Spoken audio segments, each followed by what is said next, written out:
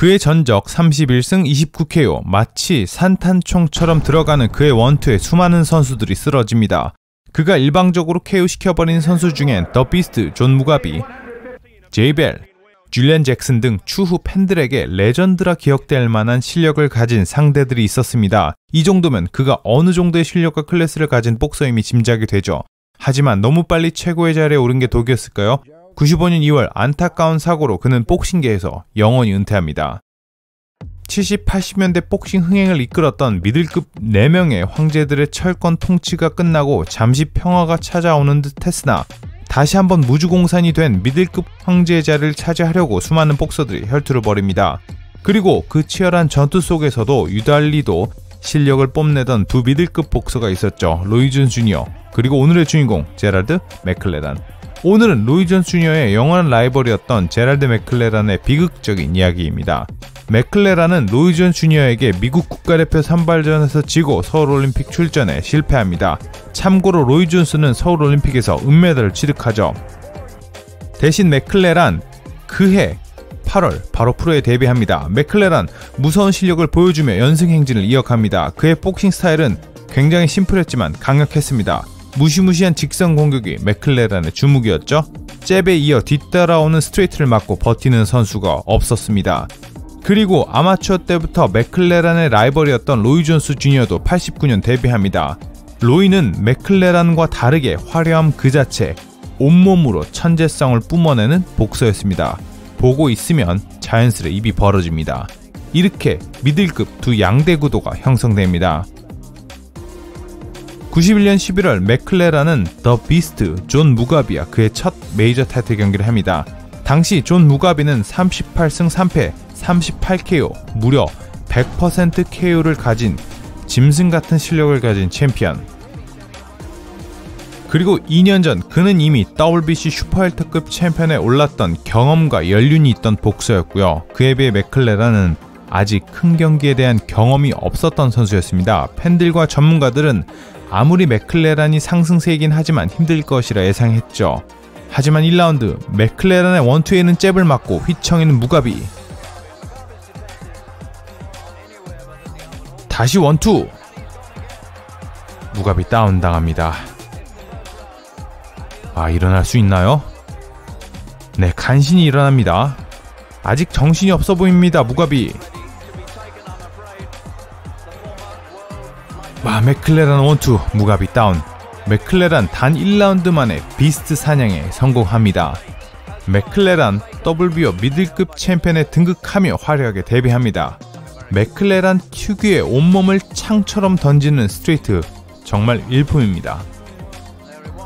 하지만 1년 뒤 1992년 그의 라이벌 로이 존스 주니어는 맥클레란이 보란 듯 퍼시 해리스를 KO시키며 WBC 슈퍼미들급 벨트를 획득하죠. 당시 맥클레란이 획득한 WBO 벨트는 90년대 초만 해도 그렇게 인정해주지 않는 마이너에 속하는 벨트였습니다. 맥클레란 다시 한번 로이 존스에 대한 열등감에 불이 붙습니다.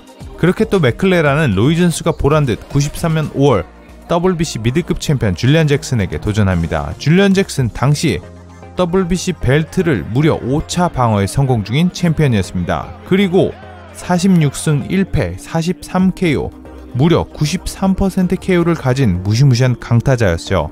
맥클레란에겐 절대 만만치 않은 상대였습니다. 하지만 1라운드 맥클레란의 원투 휘청이는 줄리안 잭슨 이거 어디서 많이 보던 장면인데요. 아 줄리안 잭슨 이렇게 경기 끝나는 건가요? 다시 원투 아 줄리안 잭슨 간신히 버텨냅니다. 자 어느덧 5라운드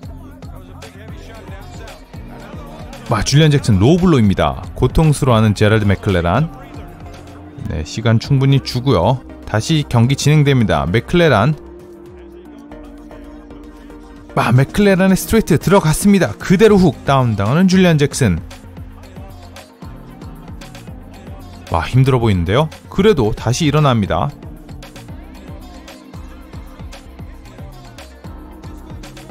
아, 줄리안 잭슨 표정을 보니 아직 회복이 덜 된 듯합니다. 그대로 들어가는 맥클레란 원투. 다시 다운 당합니다.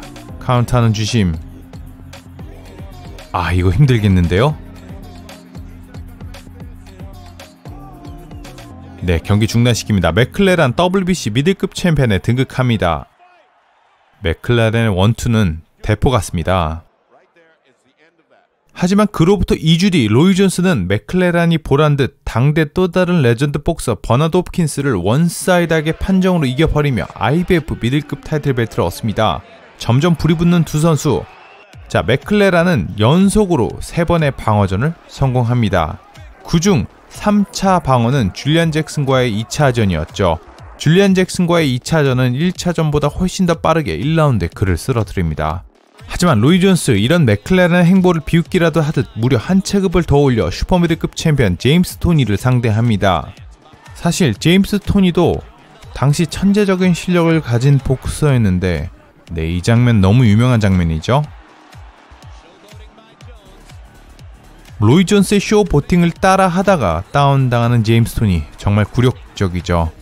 제임스 토니도 미들급에서 알아주는 천재 복서인데 이런 천재를 상대로 one-side하게 경기를 운영한 로이 존스 천재 중에 천재죠. 제임스 토니가 정말 아무것도 못합니다. 로이 존스 주니어. 네, 제임스 토니를 이기며 슈퍼미들급 챔피언에 등극합니다.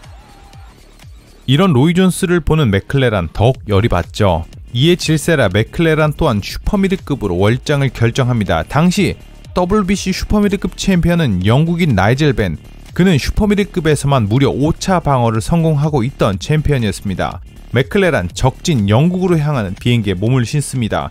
하지만 이 비행기가 그의 마지막 비행이 될 줄 몰랐을 겁니다.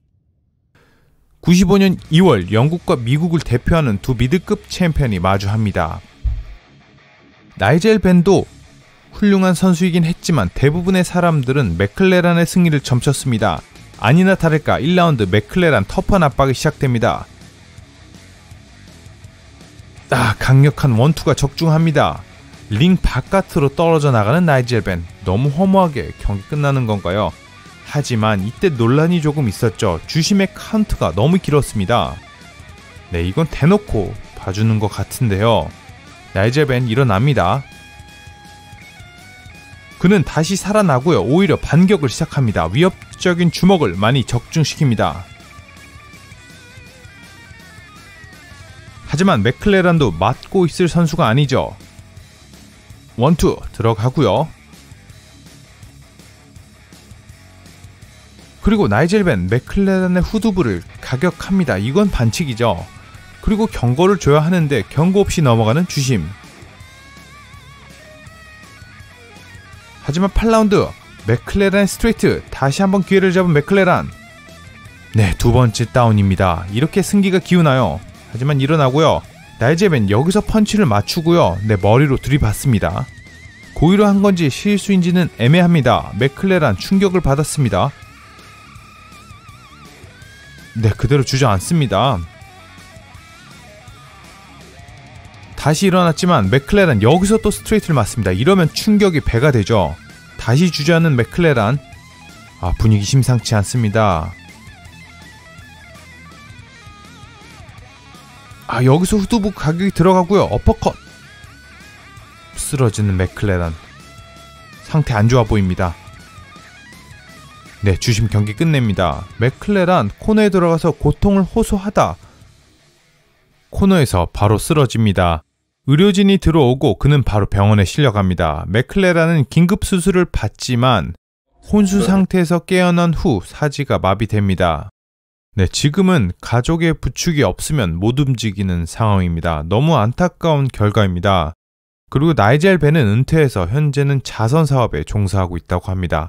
마지막은 나이젤 벤과의 경기 후 6년이 지나고 당시 사진 기사였던 테디와 맥클레라는 인터뷰로 마무리하겠습니다.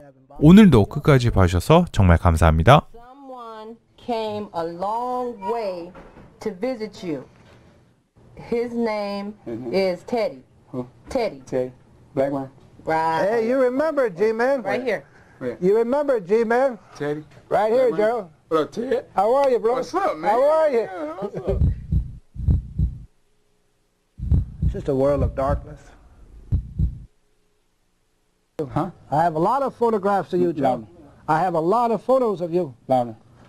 Gerald, I have lots of pictures of Got a you. photo? Yep. Yeah. You, Come me you. What? Tell me you. You? Tell me you. you, Tell me how you you are are a a friend friend of of the G-Man. of the G-Man. And, And- and I mean this from the very bottom of my heart.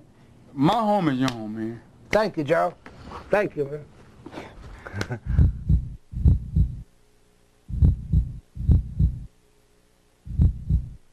they don't want to know about Gerald McCullough. Roy Jones is the only fighter that's came forward and, and donated a percentage of his purse, knew Gerald from the amateurs, lost to Gerald in the amateurs. And when I see Roy, he always ask, he asks, how's Gerald? I tell him about the same. I said, I'd like you to visit. He, Roy Jones won't visit until he retires. He knows if he saw Gerald in the condition that he's in, Roy wouldn't fight again. It could happen to Roy in any fight. And Roy knows that. No matter how much heart that Roy has, he knows reality too. Push! It's it. Yeah. Boxing is a cold, cruel, killer sport with short-term memory where people don't want to remember fallen champs or fallen warriors. And it'll go on. But I hope people remember Gerald. I'll remember Gerald.